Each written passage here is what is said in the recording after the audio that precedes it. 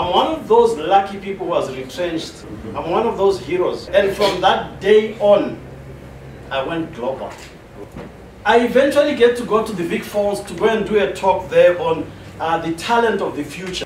And I pumped this with passion and purpose. And when I finished, the internal auditor, the global president, walks up to the stage and says, wow, would you want to do a similar talk in London? So shrink all that. Eventually they get in touch with me, they organize my ticket, they do everything. I go to this amazing conference place in London. We were the top six and I was the last one.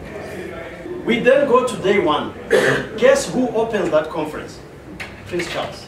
Last month I was in Lyon, France. I'm going to Georgia next month Wow. and to Russia the month.